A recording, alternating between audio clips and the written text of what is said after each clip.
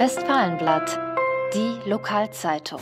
Am Mittwoch ist im Lippischen Lager bei Bauarbeiten eine Fliegerbombe aus dem Zweiten Weltkrieg entdeckt worden.